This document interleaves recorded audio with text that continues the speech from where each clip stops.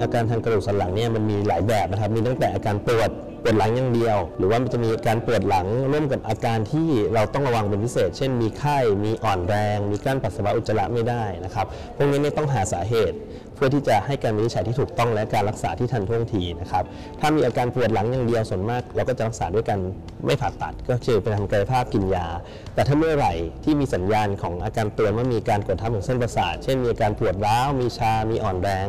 ลงขาเหล่านี้เนี่ยควรจะต้องพบแพทย์นะครับเพื่อให้การวินิจฉัยที่ถูกต้อง แล้วก็ให้การรักษาที่ทันท่วงที ต้องบอกว่าการผ่าตัดมันมี 2 แบบนะครับก็คือการผ่าตัดแบบเปิด กับการผ่าตัดแบบ MIS หรือว่าการผ่าตัดแบบแผลลึกการผ่าตัดแบบเปิด ต้องมีการตัดเลาะกล้ามเนื้อที่มากกว่า มีการสูญเสียเลือดที่มากกว่าการผ่าตัดแบบแผลเล็ก สิ่งที่จะได้จากการผ่าตัดแบบแผลเล็กก็คือผู้ป่วยเนี่ยปวดแผลผ่าตัดน้อยกว่านอนโรงพยาบาลสั้นกว่าสามารถกลับไปใช้ชีวิตประจำวันได้รวดเร็วมากกว่าการผ่าตัดแบบดั้งเดิม การผ่าตัดกระดูกสันหลังเนี่ยมีเทคโนโลยีที่ ก้าวหน้ามากขึ้นนะครับ การมองเห็นพวกเส้นประสาทหรืออวัยวะต่างๆ โครงสร้างต่างๆเนี่ยที่ชัดเจนมากขึ้นจากเทคโนโลยีเนี่ยทำให้การผ่าตัดเนี่ยค่อนข้างปลอดภัย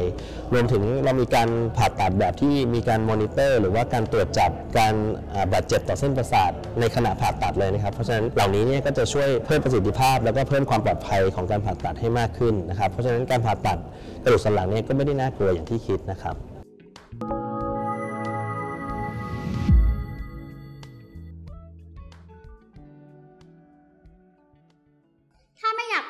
ระดีๆ จากโรงพยาบาลเวชธานี อย่าลืมกดไลค์ กดแชร์ กด Subscribe ด้านล่าง และกดกระดิ่งให้พวกเราด้วยนะคะ